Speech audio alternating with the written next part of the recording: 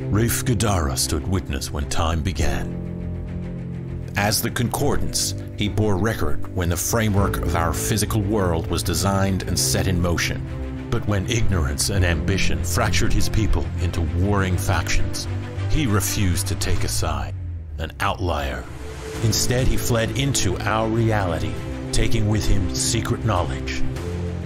Hidden for millennia among humanity, he has walked alongside us as drifter, recluse, and watcher, living countless lives on the fringe. Now, one man stands on the brink of a discovery that could unmake everything, and old foes are closer than ever. Rafe is forced into the open, but will he be able to use his knowledge to stop unseen powers from rewriting reality? Or will he be the catalyst that sets it in motion?